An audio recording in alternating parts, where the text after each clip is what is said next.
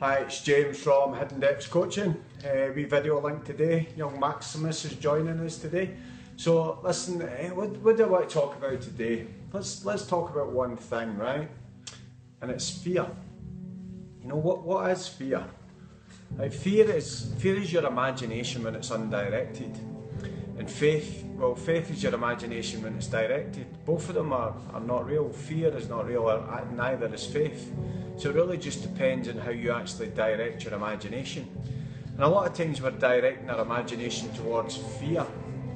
Just let me explain where fear can take you to at a very, very, very quick pace.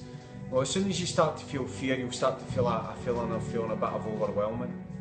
And that can open up a bit of disappointment.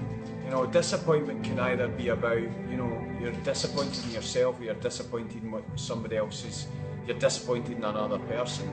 So I just want you to understand that this is, if you want to start catching your fear, you want to look out for the disappointment bit, because that's where it starts to take so many different angles, right? The first route that disappointment will take you down is you'll start to doubt yourself. You know, and after you start to doubt yourself with that disappointment, it can take you a place of blame. Because you don't want to doubt yourself forever, so then you might start hitting blame. From blame, you can go to so many places discouragement, anger, revenge, jealousy, all goes from there. It's all outward feelings. As soon as you start to doubt yourself and get to blame, you've really went outside yourself, and that can end up leaving you in a place of feeling powerless. And remember, all of this has came from fear, right? And then unlocking a bit of disappointment. It can also take you down another place, which creates a lot of anxiety. Once you get disappointed in yourself or disappointed in somebody else, then you can start to feel, you know, really worried really, really worried for yourself, and then that worry can lead to a place of feeling really unworthy. So you kind of jump between this. One minute you're dead worried about yourself, and next minute you're feeling unworthy that you're actually worried. And this is what can build up this this anxiety that builds up inside you because it's you know you're suppressing your emotions.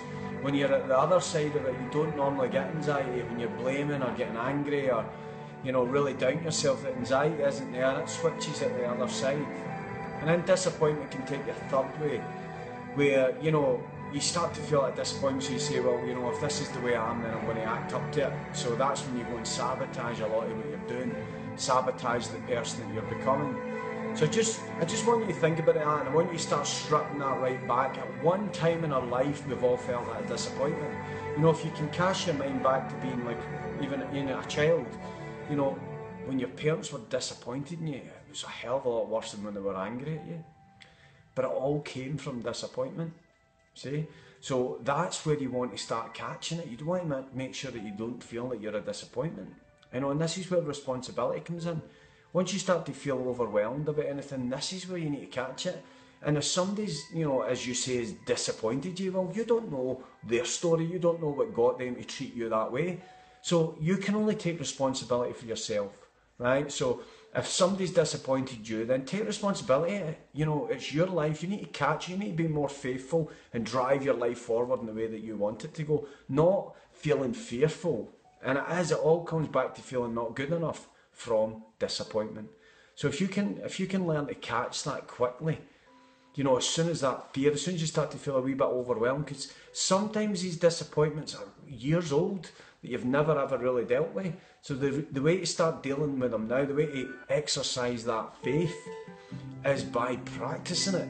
So imagine like fear's away down here and faith's away over here, then, you know, I get to be really fearful, you need to be really faithful to get yourself out of it.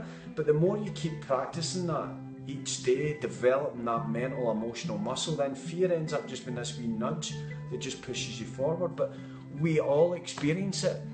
Because fear is that imagination just running away with itself. It's your imagination not directed. And the quicker you can grab that and take responsibility and say, listen, you know, I'm not a disappointment in my life. There's so much things I can do. You feel content, hopeful, and optimistic with what you've got. Then from here, start looking at what you want to do and who you want to become. A lot of people are disappointed because of old bosses that they didn't value in the first place and they gave them a you know a bad report about what they've done, and then they feel like a disappointment. But what I just clearly want to get that word into you, that word of disappointment. Remember when you were a child, it's a horrible experience.